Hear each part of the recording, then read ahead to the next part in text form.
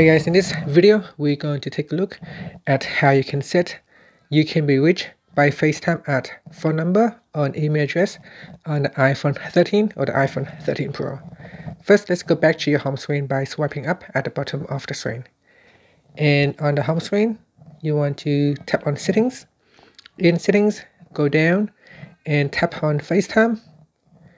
Next, go down to the section where it says you can be reached by FaceTime and here. You can tap on email address to turn it off. If there is no check marks right next to the email address then that means um, people cannot reach you by an email address.